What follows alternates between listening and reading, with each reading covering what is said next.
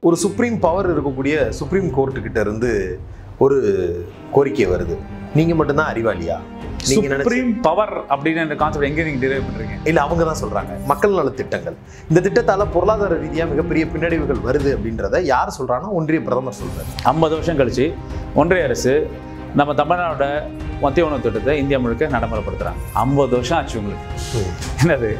புரியறதுக்கு. எல்லா கிராமத்துக்கும் நாங்கள் வந்து கரண்ட் கொடுத்துருவோம்னு சொல்றது வந்து எழுபத்தி ஒன்று எழுபத்தி கலைஞர் முடிச்சிட்டாரு. அந்த கிராமத்துக்கு சப்ளை வந்துடும் ஆ, ஆனா அந்த கிராமத்து சப்ளை ஒரு ஒரு தனிநபர் வீட்டுக்கு போகணுமா இல்லையா? பாஜகவோட தேர்தல் அறிக்கைலாம் பாருங்களேன் முழுக்க முழுக்க நம்மளோட ம தமிழ்நாட்டு மாடல் இருக்க மக்கள் நல திட்டங்கள். அது விவசாய கடன்றதா இருக்கட்டும் இல்லை மின்சாரம் கொடுக்குறதா இருக்கட்டும் எல்லாமே அவங்கள இலவசங்களாக கொடுத்துட்டாங்க. இப்போ ஆட்சி அதிகாரத்துக்கு வந்துட்டுக்கு அப்புறம் அவங்க அவங்க வந்து அவங்க மக்களுக்கு வாக்குறுதிகள் நிறைவேற்ற முடியல. செயலற்ற தன்மை.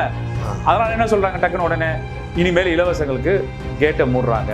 இவ்வளவும் செஞ்சுட்டீங்க. ஏழு லட்சம் கோடி கடன்ல தானே வச்சிருக்கீங்க வெள்ளை அறிக்கையை கொண்டு வந்து உங்க நிதியமைச்சர் காட்டுறாரு. இப்போ நம்ம இலவச பஸ்ஸுன்னு பெண்களுக்கு கொடுத்தோமே ஆயிரத்தி இரநூறு கோடி ரூபாய் ஈக்குவலண்ட். பள்ளிக்கூடத்துல உணவு திட்டம் கொடுக்குறோம்ல. காலை சிற்றுண்டி திட்டம் முட்டை எல்லாமே சேர்த்துங்க. அது ஆயிரத்தி இரநூறு கோடி ரூபாய். நீ பெரிய பெரிய கார்பரேட்ஸ்க்கு நீ வந்து ஃப்ரீ பீஸ் கொடுத்துறீங்களே. ஏழு புள்ளி ஏழு லட்சம் கோடி ரூபாவை வந்து வேவர் பண்ணியிருக்கீங்க உங்க இலவசங்கள் ஆர்குமெண்ட் எங்க இருக்கணும். அவங்கள்ட்ட இருக்கணும். அந்த இலவசங்களை அந்த இலவசங்களை பத்தி குறை சொல்லுங்க. அந்த இலவசங்களை பத்தி பேசுங்க. இங்க வராதீங்க. ஒரு தனிநபருக்கு கல்வி சுகாதாரம்.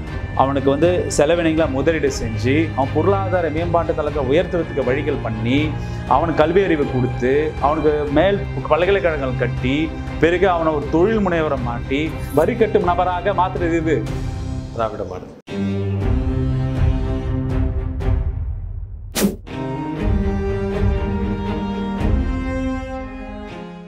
பேரலை நேயர்களுக்கு வணக்கம். இன்றைய நமது நேர்காணலில் ஆயிரம் விளக்கு சட்டமன்ற உறுப்பினர் டாக்டர் எழிலன் நாகநாதன் அவர்கள் இணைந்திருக்கிறார். சார் வணக்கம். வணக்கங்க. உங்கள் தொகுதியில் முதலமைச்சர் ஒரு திட்டம் அந்த திட்டம் பெரிய அளவிற்கான ஒரு வரவேற்பு அதெல்லாம் இருந்தது. உடனடியாக ஒரு லட்சம் மனுக்கள் அதற்கான குறைகள் தீர்க்கப்பட்டது அப்படின்னு ஆட்சிக்கு வந்த குறிப்பிட்ட மாதங்கள்லேயே அதெல்லாம் நடந்துட்டு இருந்தது. திடீரென்று மூணு நாளைக்கு முன்னாடி முதலமைச்சர் அவர்கள் ஒவ்வொரு எம்எல்ஏக்களும் அவங்களுடைய தொகுதியில் இருக்கக்கூடிய ஒரு பத்து மெயினான தீர்க்கப்படாத பிரச்சனைகள் லிஸ்ட் எடுத்து கொடுங்க அப்படின்னு ஒரு ஸ்டேட்மெண்ட் கொடுத்துருக்கிறாரு. வரவேற்க வேண்டிய ஒன்று அப்படின்னு ஒரு பக்கம் பேசப்பட்டாலும் இதுக்கு தான் அதிகாரிகளை வச்சுருக்கிறீங்க. அதிகாரிகள் மூலமாக ஏற்கனவே ஒவ்வொரு பஞ்சாயத்துலையும் என்னென்ன பஞ்சாயத்து இருக்குன்றது உங்களுக்கு தெரியும். அதெல்லாம் இருக்கும்போது திருப்பி மறுபடியும் எம்எல்ஏ வந்து ஒரு பத்து விஷயத்த சொல்லு அப்படின்னு சொல்கிறது வந்து எம்எல்ஏக்களுக்கு வேறு வேலை இல்லையா? இது திருப்பி சொல்கிறாங்க அப்படின்ற ஒரு வலதுசாரி இடத்துல இருந்து ஒரு விமர்சனம் அப்படிங்கிறது அங்கேருந்து வர ஆரம்பிக்குது. எப்படி புரிஞ்சுக்கிறது அடிப்படையிலே வந்து மக்களால் தேர்ந்தெடுத்த பிரதிநிதிகள் வந்து மக்களோட திட்டங்களை வந்து மக்களிடம் செய்யறது எந்த முயற்சி எடுத்தாலும் அது வந்து அது வந்து கரெக்ட் தான் அது எந்த முயற்சி எடுத்தாலும். மக்கள் மக்கள் நலத்துக்காக வர திட்டங்களை வந்து இப்போ வந்து ஒரு பள்ளிக்கூடம் கட்டுறோம். ஒரு மேம்பாலம் இருக்கும் இப்போ எனக்கு பார்த்தீங்கன்னா ஒரு பெரிய விளையாட்டு மைதானம் கேட்குறேன். நான் வந்து பல இடத்துல வந்து இந்த மாதிரி பம்பிங் ஸ்டேஷன் போட்டு மெட்ரோ வாட்டர் பம்பிங் ஸ்டேஷன் வந்து ரெடி பண்ணிட்டு ம். அது வந்து ட்ரைனேஜ் பிரச்சனை வந்து சால்வ் பண்ணணும்னு சொல்யூஷன் கேட்குறேன் இந்த மாதிரி ஒவ்வொரு எம்எல்ஏக்கும் சில பிரதான பிரச்சனைகள் இருக்கும் அது பிரதான பிரச்சனைகள் வந்து ஒன்று எம்எல்ஏவோட நிதி இருக்கும். ஆனால் எம்எல்ஏ நிதிக்கு வந்து ஒரு ஒரு வரையறை இருக்குது அந்த வரையறைக்குள்ளே தான் அவங்க வந்து அந்த நிதி ஒதுக்கீடை பண்ண முடியும். அது இல்லாமல் நேரடியாக மக்கள் அன்றாடம் சந்திக்கிற பிரச்சனையை. மக்களால் தேர்ந்தெடுத்த பிரதிநிதிகளாக இருக்க ஒரு சட்டமன்ற உறுப்பினர்களுக்கு இருக்கும். இப்போ இது வந்து வெறும் திராவிட முன்னேற்ற கழகத்துக்கோ இல்லை திராவிட முன்னேற்ற கழகத்தின் கூட்டணி கட்சிகள் எம்எல்ஏக்கு மட்டும் இல்லை. அவர் இரநூத்தி முப்பத்தி நாலு எம்எல்ஏ ஏன் பாஜக நீங்கள் சொல்கிற வலதுசாரிக்கு நாலு எம்எல்ஏகளுக்கும் அந்த லிஸ்ட் இருக்கு. ம். அப்போ தமிழ்நாட்டு முதல்வர் வந்து வென்றதுக்கு அப்புறம் என்ன சொன்னார்? நான் வந்து எனக்கு வாக்களித்த மக்களுக்கு மட்டும் இல்லை வாக்களிக்காத ம மக்களுக்கும் நான் முதல்வர்னு சொல்கிறாரு. அப்படி இருக்கும்போது அனைத்து எம்எல்ஏகளுக்கும் வந்து பிரதான ஒரு முக்கிய பத்து திட்டத்தை விரைந்து நடவடிக்கை முடிக்கிறதுக்கான விஷயத்தை கேட்குறாரு. ஏன் இப்போ கேட்குறாரு ஏன்னா ஒன்றரை ஒரு வருஷம் ஒன்றரை வருஷம் ஆச்சு. ஒன்றரை வருஷம் கழிச்சு மக்கள் கிட்ட பயணம் பண்ணும்போது ஒரு ஒரு பிரச்சனை எங்க இருக்குன்னு கண்டறிந்து. எல்லா எம்எல்ஏக்கும் இருக்கும். இருபது இருபது முப்பது நாற்பது என்ற கோரிக்கைகள் இருக்கும்.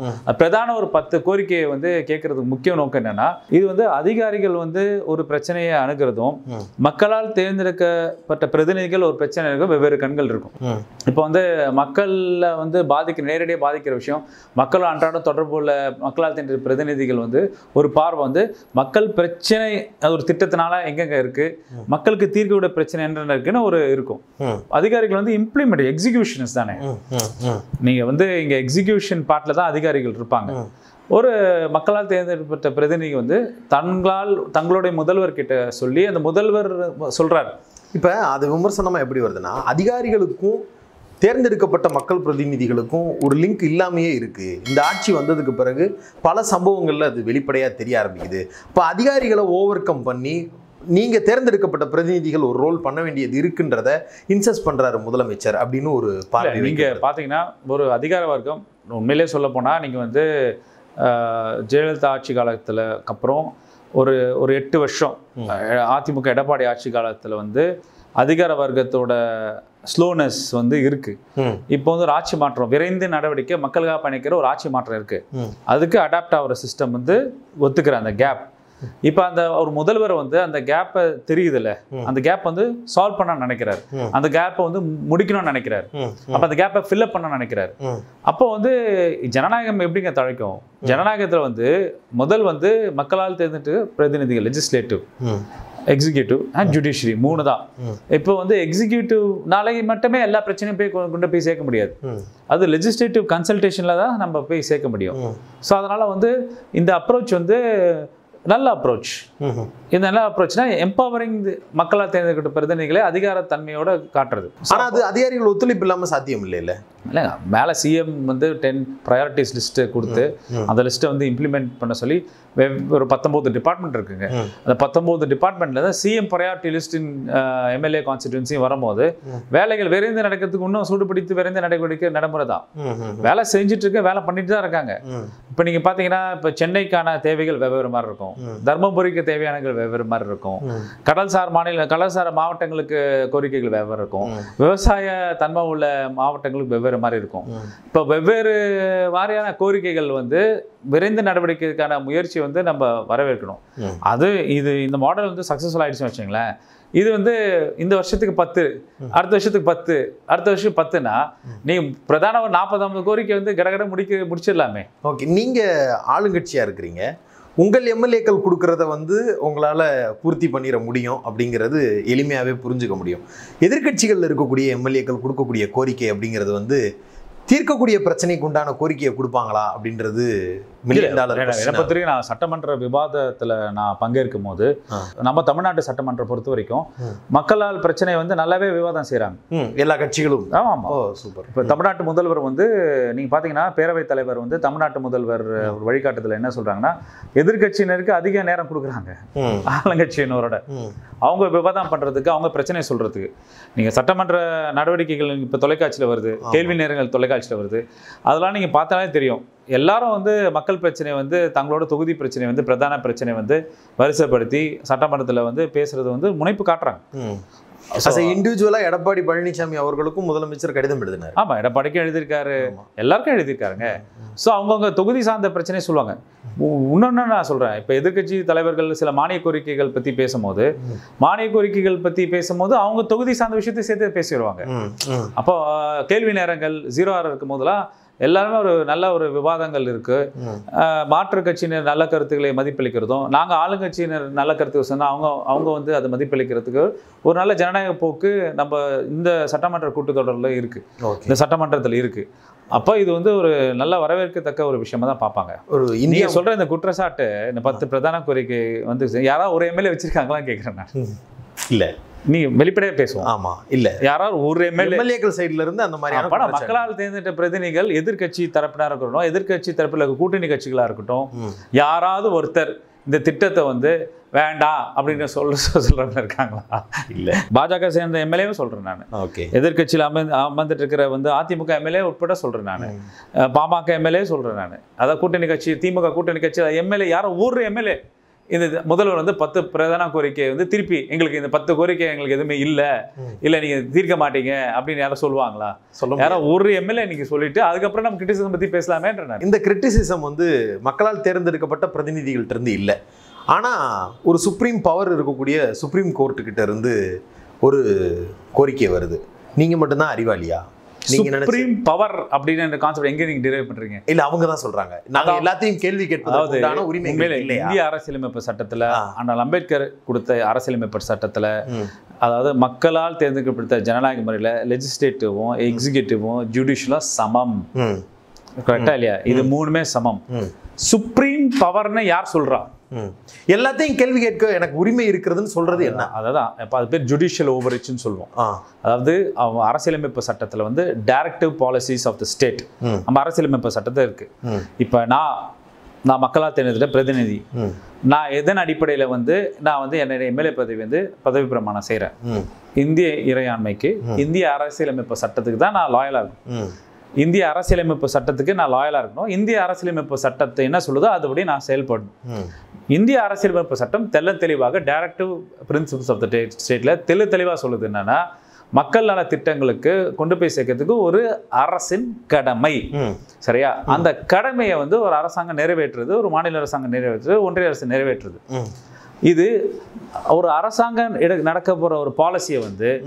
சுப்ரீம் கோர்ட்டை ஒரு விவாத பொருளா ஆக்கிறதுக்கான காரணங்கள்ல அவங்களுக்கு யாரோ மனுதாரர்கள் பெட்டிஷன் போடுறாங்க. ஆமா பிஜேபியை சார்ந்தவர்கள் போட்டாங்க. போட்டோம். அவங்க பெட்டிஷன் போறதுக்கான முக்கிய நோக்கம் என்னன்னு சுப்ரீம் கோர்ட் கண்டறியும். அதாவது உச்ச நீதிமன்றம் வந்து உச்சத்துல இருக்கனால அவங்க உச்சத்துல இருக்கிற பவர் நினைக்கிறது இல்ல. Even they are part of the constitution even they are part of the process.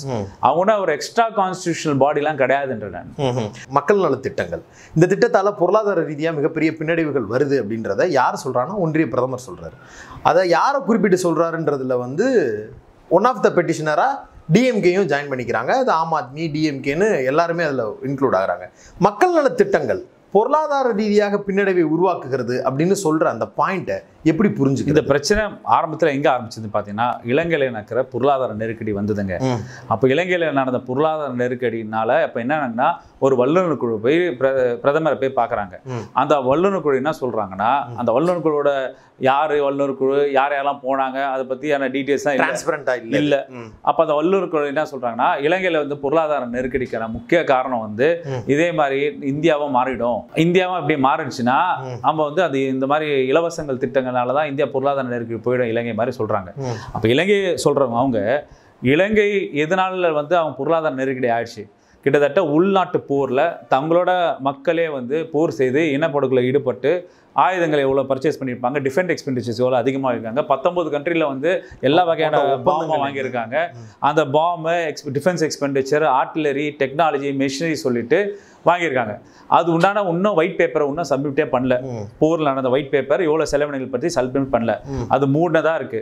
அது இல்லாமல் போஸ்ட் கோவிட் சுச்சுவேஷனுக்கு அப்புறம் வெறும் வெறும் முழுக்க முழுக்க வந்து டூரிசம்னால அவங்க வந்து டிபெண்ட் பண்ணின ஒரு எக்கானமி கோவிட் ரெண்டு வருஷத்தினால கீழே போறாங்க ம். இதுக்கு முன்னாடி தவறான பொருளாதார கொள்கைகள் அதாவது நிறைய ஃபாரின் எக்ஸ்சேஞ்ச் ரிசர்வ்ஸ் நிறைய ஃபாரின் டெட்ஸ் வந்து அளவுக்கு அதிகமாக நாட்டை வந்து கடனை சுமித்து ரெண்டு மூணு குடும்பங்கள் வந்து பெரும் பணக்காரங்களை மாற்றி அங்கே திவாலாயிட்டாங்க ம். இந்த நாலு முக்கிய காரணங்களை பற்றி எதுவுமே பேசாம. இந்த வல்லுநர் குழு டிஃபென்ஸ் எக்ஸ்பெண்டிச்சர் அதிகமாக இருக்கு அது குறைக்கணும். வெளியில கடன் வாங்குறது வந்து கம்மி பண்ணணும். தனியார் மய மயக்கு ரொம்ப ஊக்கம் கொடுத்துட்டு பொதுத்துறை நிறுவனங்களை வந்து நம்ம வந்து லாஸ்ல போய் கொண்டு போய் சேர்த்துறோம் பொதுத்துறை நிறுவனங்களை வந்து பலப்படுத்தணும். அப்படிலாம் அவங்க கோரிக்கை வைக்கல. இல்ல அது வந்து ஒரு யூனிட்டரி ஸ்ட்ரக்சர் ஸ்ரீலங்கா. அதாவது யூனிட்டரி ஸ்ட்ரக்சர்னா அங்க வந்து மாநிலங்களுக்கு அதிகார பகிர்வே கிடையாது. மாநிலங்கள் வந்து ஒரு டிஸ்ட்ரிக்ட் அளவில் தான் இருக்கணும். ஓ அங்க யூனிட்டரி ஸ்ட்ரக்சர்னால தான் வந்து இலங்கை விழுந்து போச்சான்னு அது கூட சொல்ல ம். நீங்க யூனிட்டரி ஸ்ட்ரக்சருக்கு போகாதீங்க ம். நீங்க வந்து மாநில உரிமைகளுக்கு முக்கியத்துவம் கொடுங்க. அது மாநிலங்கள் தங்களோட வளர்ச்சியை வந்து நலத்திட்டங்களை வந்து அவங்க பார்த்துப்பாங்க என்ற வல்லுநர் கூட அந்த மாதிரி அறிவுரையும் சொல்லல. உண்மையான என்ன பிரச்சனையோ அதை பத்தி எதையுமே பேசாம. அப்போ அவங்க என்ன சொல்லியிருக்காங்க. இலங்கையில தோல்வியா இருக்கிற உண்மையான காரண காரியங்களை வந்து யூனிட்டி ஸ்ட்ரக்சர் இது அது கூட்டாட்சி தத்துவத்துல அந்த நாடு வந்து முக்கியத்துவம் கொடுக்கல. போர்ல நிறைய வந்து செலவினை செஞ்சாங்க சிவில் வாரில் ஈடுபட்டிருக்காங்க. இது மாதிரி பல காரணங்களை வந்து சொல்லாம. வெறும் இலவசங்களால தான் நாடு விழுந்து போகுதுன்னு இந்த ஒரு சிந்தனை வந்து முதல்வர் பிரதமர் மண்டலில் வச்சுட்டாங்க. பிரதமர் வந்து சௌகரியமாக என்ன பண்ணிட்டாருன்னா நீங்க மாநில தேர்தல் நடந்ததுல. நாலஞ்சு மாநிலம் அதுல வந்து நீங்க பாஜகவோட தேர்தல் அறிக்கையெல்லாம் பாருங்களேன். முழுக்க முழுக்க நம்மளோட ம- தமிழ்நாட்டு மாடல் இருக்கிற மக்கள் நல திட்டங்கள் அது விவசாய கடன் ரத்தா இருக்கட்டும் இல்ல மின்சாரம் கொடுக்கறதா இருக்கட்டும் எல்லாமே அவங்கள இலவசங்களா கொடுத்துட்டாங்க. ஏன் உத்தரப்பிரதேசத்திலேயே ஆமா அதுதான் சொல்ல வரேன் எல்லாம் சொல்றாங்க. எல்லாம் சொல்லிட்டுக்கு அப்புறம் இப்போ ஆட்சி அதிகாரத்துக்கு வந்துட்டுக்கு அப்புறம் அவங்க அவங்க வந்து அவங்க மக்களுக்கு வாக்குறுதிகள் நிறைவேற்ற முடியல. ஓகே. செயலற்ற தன்மை. அதனால என்ன சொல்றாங்க டக்குன்னு உடனே இனிமேல் இலவசங்களுக்கு கேட்டை மூடுறாங்க. மக்கள் நல திட்டத்துக்கு கேட்டை மூடுறாங்க. என்ற காரணம் முக்கியம்னா. ஏற்கனவே ஒன்றிய அரசு இப்போ ஆளுங்கன்ற பாஜக அரசு வந்து ரெண்டாயிரத்தி பதினாலுலேருந்து இந்நாள் வரைக்கும் பார்த்தீங்கன்னா நிறைய மக்கள் நல திட்டங்கள் வந்து அவங்களோட செலவு செலவினைய நிதி ஒதுக்கீடு செய்து குறைச்சிட்டே வராங்க. ஐசிடிஎஸ் ஸ்கீம் இருக்கட்டும். ஐசிடிஎஸ் ஸ்கீம் என்ன. அதாவது ஊட்டச்சத்து குறைபாடை வந்து நேர்த்தி பண்ணும். நீங்க எல்லா டேட்டாவும் எடுத்து பார்த்தா அங்கம்மா இண்டெக்ஸாக இருக்கட்டும் இல்லை நேஷனல் நியூட்ரிஷன் சர்வே இருக்கட்டும் கிட்டத்தட்ட கோவிடுக்கு அப்புறம் பள்ளிக்கூடங்கள் குழந்தைங்க வராத நிலை இருக்கிறதால ஊட்டச்சத்து குறைபாடு grade three grade four malnutrition அதிகமாயிட்டே வருது. அதை தீர்க்கக்கூடியது வந்து அங்கன்வாடி சிஸ்டம் அதில் வந்து அடிப்படை கல்வி குழந்தைகளை போய் கொடுக்கணும். அதில் அவங்க ஊட்டச்சத்து குறைபாடு பண்ணணும். ஆனால் அந்த ஸ்கீம்ஸ்க்கான நிதி ஒதுக்கீடு கம்மியாயிட்டே வருது. ஓகே ஜென்ரலாகவே பார்த்தீங்கன்னா welfare spending social sector spending அதெல்லாம் இலவசத்துல வராதே. வெல்ஃபேர்ல தான் வருதுன்னு அவங்களே ஆர்கியூ பண்றாங்க. அதுதான். அந்த லைன் என்ன? நீதி உச்ச நீதிமன்றம் என்ன சொல்லுன்னா நீங்க எது இலவசம் அப்புறம் எது சோஷியல் வெல்ஃபேர் ஸ்கீம்ஸ் நீங்க பிரிக்க வரையுறைக்கு முடியாதுன்ற நான். ஓகே ஏன் முடியாது? ஏன் முடியாது? ஒரு ஒரு மாநிலத்துக்கும் ஒவ்வொரு தேவைகள் இருக்கும். ஒவ்வொரு மாநிலத்தோட தேவையை அந்த மாநில அரசு தான் பூர்த்தி பண்ணணும். அந்த மாநில அரசு பூர்த்தி பண்ற விஷயத்தை வந்து ஒரு காலத்துல வந்து அது இலவசங்கள் பார்த்த பார்வை. ஒரு காலத்துல வந்து இது தண்ட செலவுன்னு பார்த்த பார்வை. அதே இன்னொரு காலத்துல வந்து இது ரொம்ப தேவைன்னு நினைப்பாங்க. ஓகே. சின்ன எக்ஸாம்பிள் சின்ன எக்ஸாம்பிள். நம்ம வந்து சர்பிடி தியாகராஜர் என்னோட ஆயிரம் தொகுதியில் மாடல் ஸ்கூல் முதல் முறையாக சென்னை மாநகராட்சி பள்ளியில வந்து மதியத்துல உணவு கொடுக்கலாம் முடிவு பண்ணார். அப்ப பிரிட்டிஷ் அரசாங்கம் அது எதிர்த்தது. இது எந்த இயர் சொல்றீங்க? ஆயிரத்தி தொள்ளாயிரத்தி இருபத்தி ஓ. அந்த ஆயிரத்தி தொள்ளாயிரத்தி இருபத்தி ஒண்ணுல அவர் மேயரா இருக்கும்போது கொண்டு வராரு திட்டத்தை. அப்ப திட்டம் பிரிட்டிஷ் அரசு எதிர்க்குது. ஏன் எதிர்க்குதுன்னா அது வந்து வேஸ்ட்ஃபுல் எக்ஸ்பெண்டிச்சர் சொல்றாங்க பிரிட்டிஷ் அரசு. இவர் சண்டை போட்டு என்ரோல்மெண்ட் இன்க்ரீஸ் பண்ண சொல்லி நாலு வருஷத்துல அந்த மத்தியான உணவு போட்டதுல. ஆயிரத்தி அறுநூறு பள்ளிக்கூடங்கள் உள்ள மாணவர் எண்ணிக்கை வந்து கிட்டத்தட்ட பதினாறாயிரம் மாறுது. எவ்வளவு மடங்கு அது? அஞ்சு வருஷத்துல என்ரோல்மெண்ட் சக்ஸஸை காட்டுறாரு. இதை தான் நேத்து சுந்தர விடைவில் எஜுகேஷன் செக்ரட்டரியா இருக்கும்போது இது மாதிரி பண்ணியிருக்காங்க நீதி கட்சி காலத்துல சொல்லிட்டு தந்தை பெரியார் தான் அவரை கொண்டு வராரு.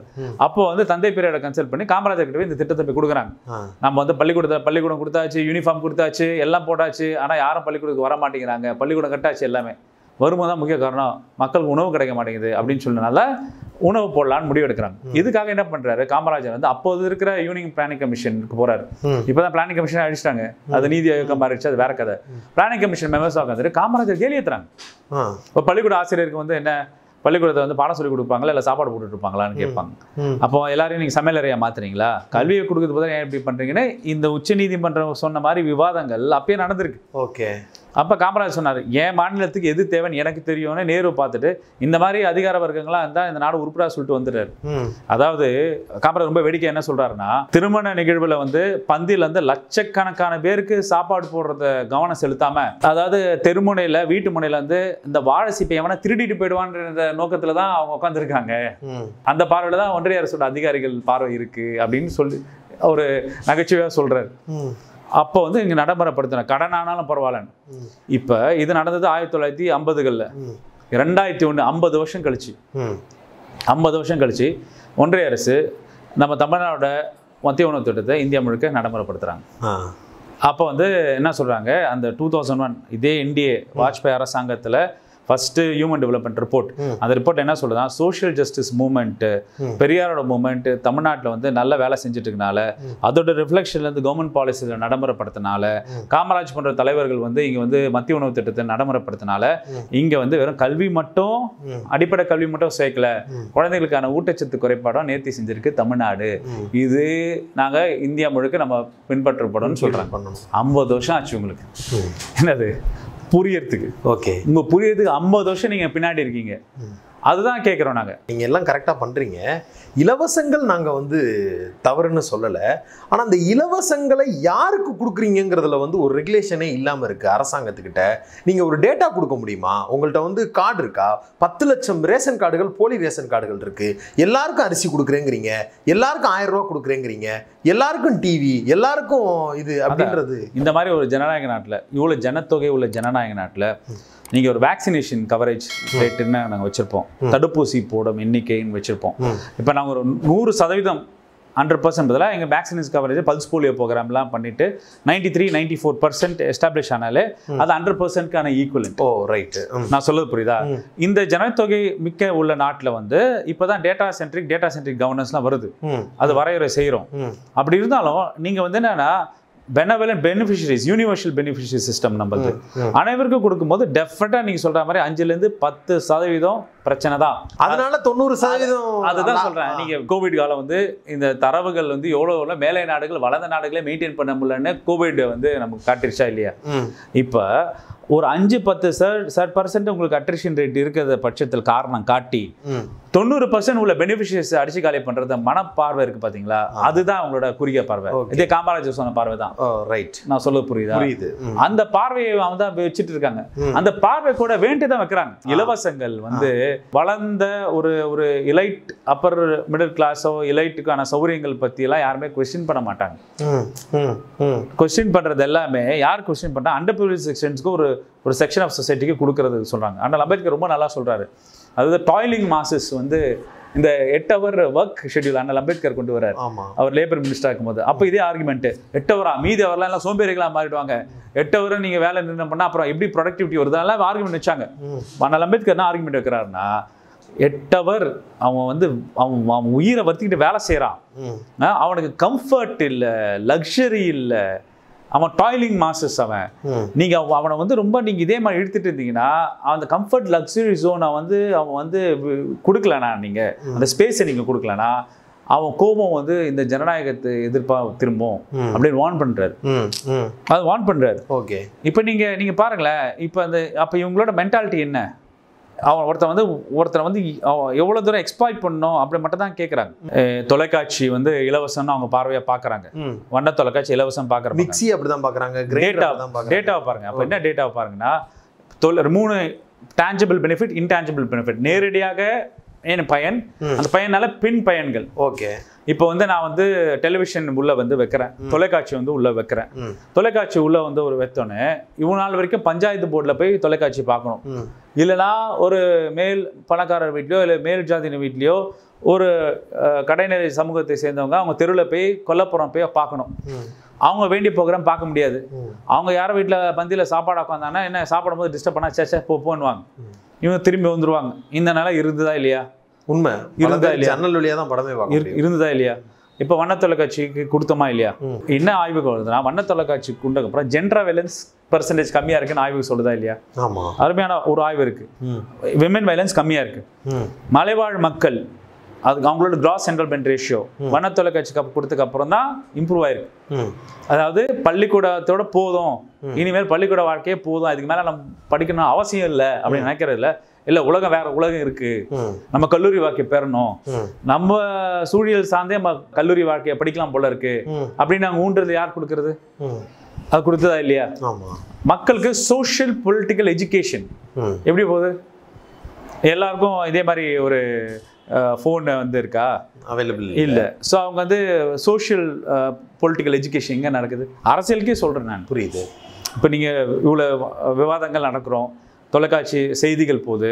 அந்த செய்திகள் ஓகே சரி ஒரு இன் கேஸ் ஆஃப் டிசாஸ்டர் ஒரு எமர்ஜென்சி எமர்ஜென்சி வரும்போது எப்படி இன்ஃபர்மேஷன் மக்கள்கிட்ட போய் சேர்க்கறது? ரைட் எப்படி போய் சேர்ப்பீங்க?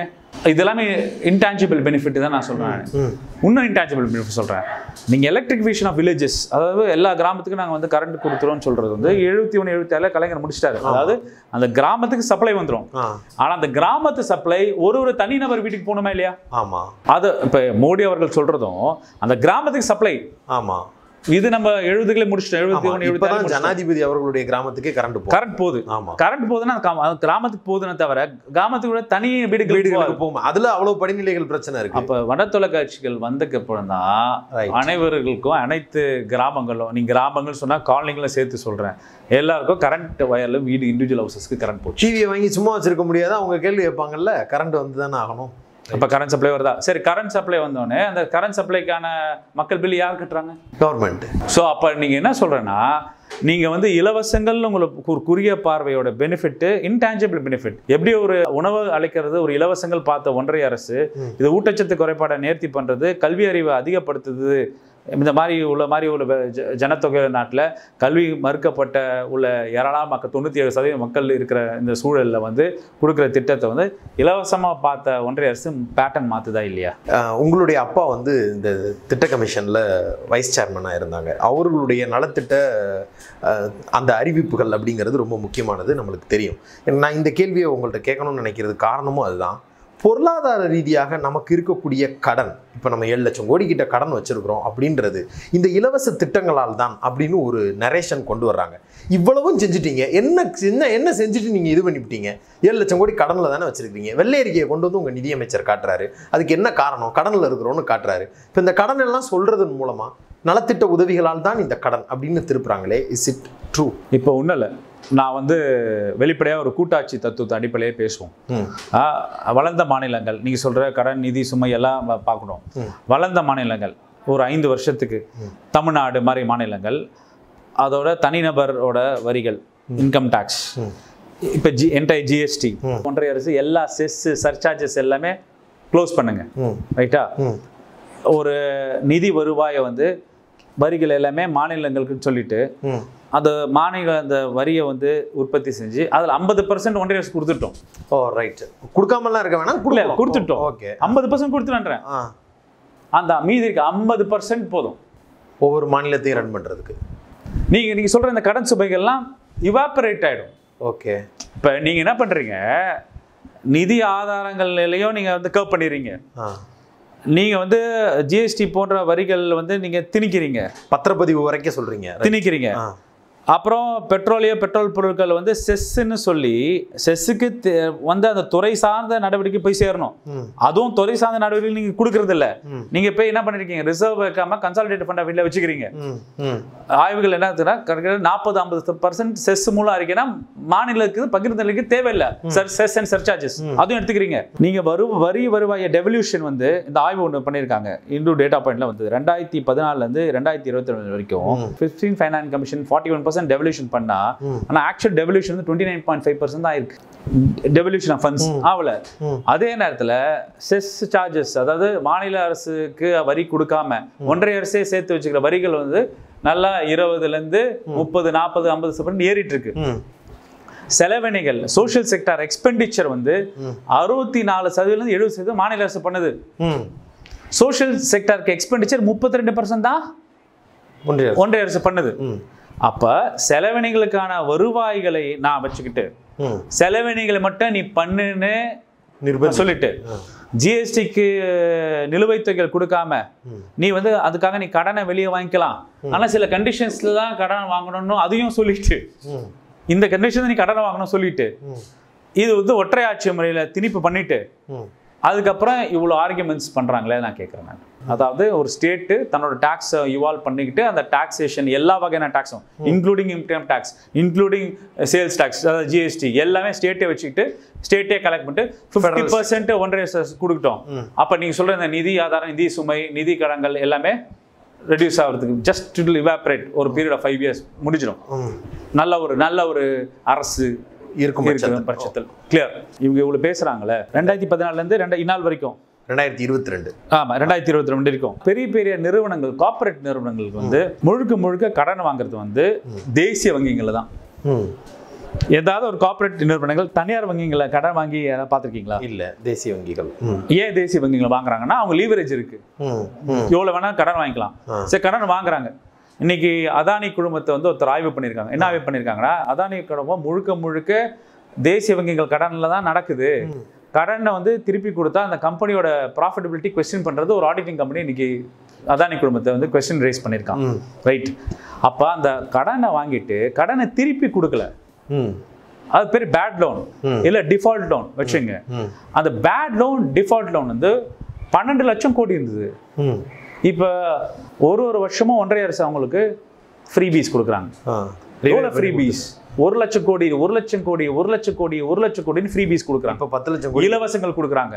அப்போ கொடுத்துட்டு இப்போ எவ்வளோ இருக்குன்னா இப்போ எவ்வளோ இருக்குன்னா ஏழு புள்ளி ரெண்டு ஏழு லட்ச கோடி ரூபாய் ம். பேட் லோன்ஸ் இருக்கு. ரியல் ஃபீ பீஸுங்கிறது அதுதான் ஃப்ரீ அது பீஸுங்கிறது ஃப்ரீ பீஸ் ஓகே ஏழு புள்ளி ஏழு லட்சம் கோடி ரூபாய் ம். உன்னர் கொடுக்க வேண்டியது இருக்கு. இங்க இருக்கு ஏழு புள்ளி ஏழு லட்சம் ரூபாய். கலர் டிவி வந்து எழுநூத்தி ஐம்பது கோடி ரூபாய் எழுநூத்தி ஐம்பது கோடி ரூபாய் ம். இப்போ நம்ம இலவச பஸ்ஸுன்னு பெண்களுக்கு கொடுத்தோமே. ஆயிரத்தி இரநூறு கோடி ரூபாய் ஈக்குவலண்ட் ரைட்டா மத்திய உணவு திட்டம் பள்ளிக்கூடத்துல உணவு திட்டம் கொடுக்குறோம்ல காலை சிற்றுண்டி திட்டம் முட்டை எல்லாமே சேர்த்துங்க. அது ஆயிரத்தி இரநூறு கோடி ரூபாய் ஏழு லட்சம் கோடி ரூபாய் இங்க எல்லாத்தையும் சேர்த்து? ரெண்டாயிரம் மூவாயிரத்து தொடரல அப்போ யார் எங்கே இலவசம் கேட்குறாங்க என்ன? யார் எதுக்கு இலவசம் கேட்குறேன் நான்? அதாவது நீதி ஆயோக் டேட்டாவில் வந்து corporate default loan seventy percent மில்டனோ ஏழனோ வந்து நாளைக்கு வந்து நம்ம ஹவுசிங் லோன் வாங்கினா நம்ம நம்ம படிப்புகளுக்கு லோன் வாங்கினா இஎம்ஐ ரெகுலராக கட்டுறோம்.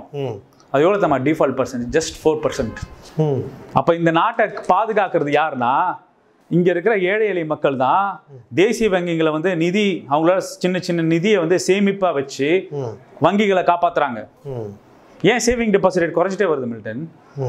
நம்ம வந்து எல்லாருக்கும் நீங்கள் எடுத்து பார்த்தீங்கன்னா ஒரு சர்வே எடுத்துங்க. எல்லாருக்கும் நைன்டி பர்சன்ட் ஏதாவது நேஷனலைஸ் பேங்க்கில் நமக்கு சேவிங் டெபாசிட் இருக்கும். அந்த சேவிங் டெபாசிட் ரேட் குறைஞ்சிட்டே வருது. ஆமாம் ரைட்டா இல்லையா? பிபிஎஃப் ரேட்ஸும் குறைச்சிட்டே வராங்க. ரெக்கரண்ட் டெபாசிட் ரேட் குறைச்சிட்டே வராங்க. ஃபிக்ஸட் டெபாசிட் குறைச்சிட்டே வராங்க. இன்ட்ரெஸ்டிங் குறைக்கிறாங்க. குறைக்கிறாங்க. நான் பேங்க்ல வச்சுட்டா எனக்கு எந்த வகையான சொல்யூஷன் இல்லை. ஆனால் நான் பேங்க்ல வந்து வீட்டுக்கு வச்சாம நான் பேங்க்ல வெயிட் பண்ணி நான் வச்சுட்டு இருக்கேன் நான். மக்கள் வந்து பேங்க்ல தான் வராங்க. டீச்சர்ஸ் பென்ஷனர்ஸ் எல்லாரும் பேங்க் வழி தான் டிரான்சாக்ஷன் இவங்க மாஸ் அதிகம் வச்சுக்கிட்டு நேஷனலைஸ் பேங்க் இவங்கனால ஓடுது. ஆனா இவங்க வந்து இவங்களுக்கு கடன் கொடுத்து ரிட்டர்னும் பண்றாங்க. ஃபோர் பர்சன்ட் தான் டிஃபால்ட் லோன் நீ பெரிய பெரிய கார்பரேட்ஸ்க்கு நீ வந்து ஃப்ரீபீஸ் கொடுத்துறீங்களே ஆ. ஏழு புள்ளி ஏழு லட்சம் கோடி ரூபாவை வந்து நீங்க வந்து ஆறு லட்சம் கோடி ரூபாய் நீங்க வந்து வேவர் பண்ணிருக்கீங்க. ஆ, இத்தனைக்கும் அவன் வந்து அக்கௌண்ட் ஹோல்டராகவும் இல்லை பணமும் இது உள்ள வச்சில்ல. வைக்காத ஒருத்தனுக்கு நீங்க கடனாவே கொடுக்குறீங்க அப்ப எல்லாத்தையும். அப்ப அப்ப நான் சொல்றேன் என்ன சொல்றேன்னா உங்க இலவசங்கள் ஆர்குமெண்ட் எங்க இருக்கணும். அவங்கள்ட்ட இருக்கணும். அப்ப இலவச நீங்க ரிட்ரை பண்ணுங்கன்ற நான். ரிட்ரை பண்ணிட்டு வாங்க பாஸ். ஏழு லட்சம் கோடி இல்லை. நீங்க பன்னெண்டு லட்சம் கோடி ரூபாய் நீங்க வந்து இருக்கு. ரிட்ரை பண்ணிட்டு வாங்க. எல்லாமே நான் சொல்றது நீங்க வந்து கருப்பு பணத்தை ஒழிப்போம் சொல்லி ஒரு ஒருத்தர் அக்கௌண்ட்ல வந்து சுவிஸ் பேங்க் அக்கௌண்ட்லாம் ஏறி போயிட்டு இருக்கு. இன்னும் ஃபார்ட்டி ஒன் பர்சன்ட் இன்க்ரீஸ் ஆயிருக்கு அது ஒரு பக்கம் இருக்கு. நீங்க வந்து நான் கருப்பு பணத்தை ஒழிச்சு கொண்டு வரலாம் சொன்னீங்க. அது கூட வேணாம். இது வெறும் வெள்ளை பணம் தான். டேட்டா முழுக்க உங்ககிட்ட தான் இருக்கு. ஒவ்வொரு நேஷனலைஸ் பேங்க்ல எவ்வளோ பேர் எவ்வளோ பெரிய கார்பரேட்ஸ் டிஃபால்ட் லோன் அனௌன்ஸ் பண்ணி ரிலீஸ் பண்ணி அந்த டிஃபால்ட் லோனை இந்த டைம் பீரியடுக்குள்ள நாங்கள் ரிட்ரை பண்ணுவோம். என்ற முனைப்பு காட்டுங்க. அந்த இலவசங்களை அந்த இலவசங்களை பத்தி குறை சொல்லுங்க. அந்த இலவசங்களை பத்தி பேசுங்க. இங்க வராதீங்க. இது வந்து மக்கள் நல திட்டங்கள். மனித வள குறியீடுகளை வந்து ஒரு ஒரு திராவிட மாடல் ஆட்சி என்பது என்னன்னா ஒரு தனிநபரில் வந்து ஏற்றத்தாழ்மிக்க ஒரு சமூகத்தில் வந்து படிநிலை ஜாதித்துவ உள்ள சமூகத்துக்கு வந்து ரெண்டாயிரத்து வருஷம் செல்வங்கள் மறுக்கப்பட்ட கல்வி மறுக்கிற சமூகத்தில் வந்து ஒரு தனிநபருக்கு கல்வி சுகாதாரம் அவனுக்கு வந்து செலவினங்களை முதலீடு செஞ்சு அவனது அவன் படிக்க வைக்கிறதுக்கு மட்டும் இல்லை அவன் பொருளாதார மேம்பாட்டு தளத்தை உயர்த்துவதற்கு வழிகள் பண்ணி அவனுக்கு கல்வி அறிவு கொடுத்து அவனுக்கு மேல் பல்கலைக்கழகங்கள் கட்டி பிறகு அவனை ஒரு தொழில் முனைவரை மாட்டி அவனை ஒரு வரி கட்டும் நபர்களாக மாத்துறது. முன்னேற்றுறது. வரி கட்டும் நபராக மாத்துறது இது. திராவிட மாடல். அப்போ அந்த வரி கட்டும் நபர்களை பண்ணனால தான் எந்த வகையான இயற்கை வளங்கள் பஞ்சாப் மாதிரி அஞ்சு இயற்கை வளங்கள் நதி நதிகள்லாம் இங்கே இல்லை. இல்லை எட்டு பிரதமர்கள் உத்தரப்பிரதேஷ் உற்பத்தி பண்ணிச்சு இந்நாள் வரைக்கும். அது மாதிரி இங்கே அது மாதிரி கிடையாது. எந்த வகையான பொருளாதார சூழல் வட இந்தியா மாதிரி யூபி பீகார் மத்திய பிரதேஷ்க்கான டெவல்யூஷனான ஃபண்ட்ஸ் போஸ்ட் நைன்டீன் ஃபிஃப்டிலேருந்து அடுத்து பாருங்கள் தமிழ்நாட்டுக்குலாம் ஒன்றும் பெரிய அளவில் நிதி ஒதுக்கீடு இல்லை. அப்படி இருந்தும் ஒரு செல்ஃப் சஃபிஷியன்ஸ் ஸ்டேட்டாக மாறிடுச்சு இண்டஸ்ட்ரியல் ஸ்டேட்டாக மாறிடுச்சு இன்றைக்கி வந்து ஜிடிபியில் டாப் த்ரீ கான்ட்ரிபியூட்டர்ஸில் இருக்கும். இன்னும் இந்த ஸ்மால் ஸ்டேட்ஸ்க்கும் ஹையர் ஸ்டேட்ஸ்க்கு டேட்டா கொடுத்தாங்க. ஆமா. நீங்கள் ஸ்மால் ஸ்டேட்ஸ் கேரளா இமாச்சல் பிரதேஷ் அதை வந்து வேண்ட்டு தமிழ்நாடு அதோட கிளப் பண்ணிடுவாங்க. நீங்கள் லார்ஜஸ்ட் ஸ்டேட்ஸ் டேட்டா கொடுங்க. தமிழ்நாடு தான் எல்லா ஹெல்த் டிசீஸ்லையும் நம்பர் ஒன் இருக்கும். அப்போ எங்களுக்கு இந்த பாடங்கள் நடத்தாதீங்கன்னு எங்களோட நிதி அமைச்சர் சொல்கிறார் தெளிவாக சொல்கிறார் அதை தான் நாங்களும் சொல்கிறோம் ஒரு நீண்ட உரையாடல். தொகுதியில் முதலமைச்சரில் தொடங்கி ஒட்டுமொத்த இந்தியாவிலும் தமிழகம் எந்த அளவிற்கு தன்னை முன்னோக்கி எடுத்துகிட்டு வந்துட்டு இருக்கு யாருக்கு யார் பாடம் சொல்கிறது அப்படிங்கிறது வரைக்கும் ஒரு நீண்ட டிஸ்கஷனை கொடுத்துருக்குறீங்க. உங்களுடைய நேரத்துக்கும் உங்களுடைய கருத்துக்களுக்கும் மிக்க நன்றி.